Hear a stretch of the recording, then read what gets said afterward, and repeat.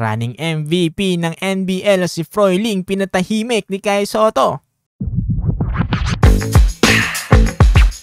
Game day na ng Adelaide 36ers kontra dito sa Illawarra Hawks. Currently, mga chong, itong dalawang kuponan na to ay parehong naghahabol ng pagkapanalo dito sa NBL regular season. Starting 5 ng 36ers, Robert Franks, Antonius Cleveland, Mitch McAdam at Daniel Johnson. Samantalang si Anthony naman na pumalit para kay Craig Randall na kung saan merong injury ngayon.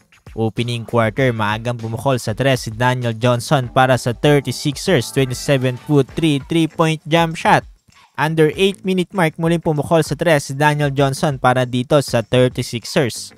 Team chemistry ang pinapairal ngayon dito ni Coach CJ Bruton para sa 36ers dahil yan sa kawalan ng star player nila na si Craig Randall. Under 4 minute mark ay pinasok na ang ating kababayan na si Kai Soto dito sa first quarter.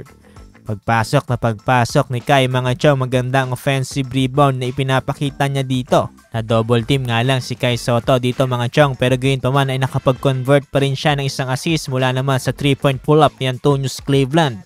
Last 2 minutes dito sa first quarter, ganda ng depensa na pinakita ni Kai dito mula sa attempted shot ni Froiling, one block agad para kay Kai Soto. Pansin ko lang mga chong no, kapag walang sugupaan sa bola dito sa 36ers, magandang kinakalabasan ng kanilang team up dito. Natapos ang first quarter up by 8 ang 36ers 26 to 18. Dito sa second quarter, pinangunahan na kagad ni Sunday Detch ng isang 3-point pull-up para dito sa 36ers. Medyo maalat na ang tira dito ng Illawarra Hawks mga chong dito sa opening ng second quarter. Samantalang under 9 minute mark dito sa second quarter, nagpakitang gilas na rin si Robert Franks ng isang fadeaway. Under 7 minute mark ay pinasok na ang ating kababayan na si Kai Soto. Sa pagpasok ni Kai, impressive defense ang ipinakita niya dito kontra Illawarra Hawks. One block muli mula naman sa attempted shot ni Deng. Impressive team chemistry ang hatid sa atin ngayon dito ng 36ers. Samantalang gusto ko lang i-highlight na maganda ang ipinapakita ngayon ng ating kababayan na si Kai hindi man siya nagkakaroon ng mataas sa puntos pero maganda yung na-convert niya sa depensa at opensa dito para sa 36ers. Maganda rin yung mga na-convert niya na assist dito. Although may mga lapses pa rin talaga sa laro ng ating kabayan pero malaki ang naitutulong niya ngayon dito sa kupunan. Natapos ang first half up by 12 ang 36ers 49 to 37.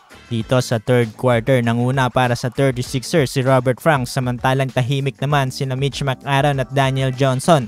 Huling minuto na na muling pinasok ang ating kababayan na si Kai Soto dito sa third quarter. Mintes pa yung attempted 3 point niya dito.